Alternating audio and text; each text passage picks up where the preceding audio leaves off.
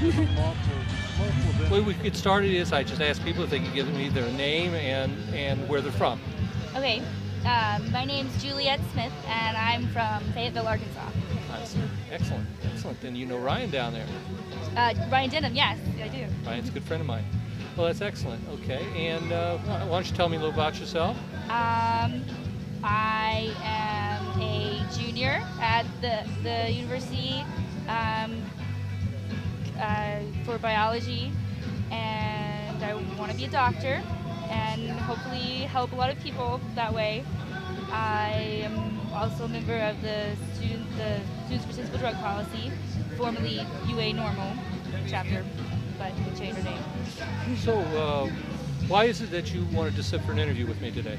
Well, um, when my father when my father was dying of colon cancer, uh, he, uh, about the last uh, six months or so that he was alive, he'd be laying there, just completely miserable. You know, in so much pain. He like his body was he had he was cancer ridden everywhere.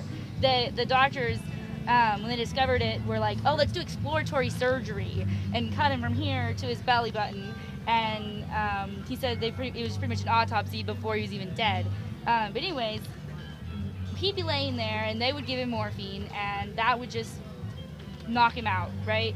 And he was so thin. I'd never seen him that thin. He was always little meatier, kind of like me, just kind of husky, you know, um, healthy. But is if um, he would, you know, kind of just mumble, you know,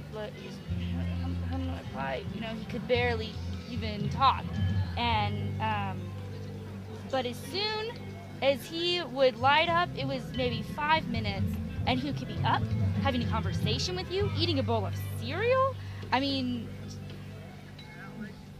it's just ridiculous. If if you can have a prescription for um, morphine, which is so addictive and just pretty much knocks you out, then why can you not have a prescription for this wonderful God-given herb that just makes everything better?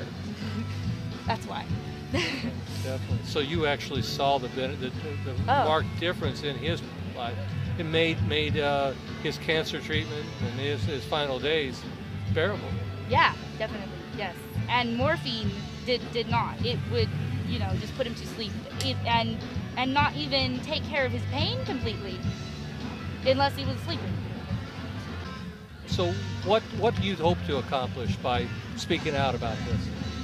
Um, drug policy reform eventually. Hopefully, um, you know, um, medical cannabis uh, to start out with in in all 50 states is you know what I'm going for. Eventually, you know, I want it to be legal and then feed the world actually because I think that cannabis um, is definitely a good a good start to It ending some- world hunger. Has a multiple multiple benefits, doesn't it? yes, Yes, it does. But first and foremost, uh, if it can help people who are chronically and terminally ill, why Right. not?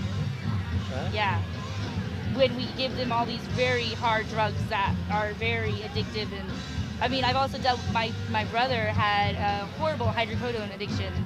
Um, you know, and I think and I have friends that, you know, had just had their wisdom teeth taken out. One of my friends he's uh, and you know, the doctors will give you this big bottle of hydrocodone and you know, he's only 19 and he is an adult, but it's just not a very good way to sort of start out your life. Sounds great. I kind of like what you said. Anything else you'd like to say? um, Pretty much covered it, didn't you? yeah, I think so. Thank you. I appreciate it. Thank you very much. Thank you. There you go. Thank you.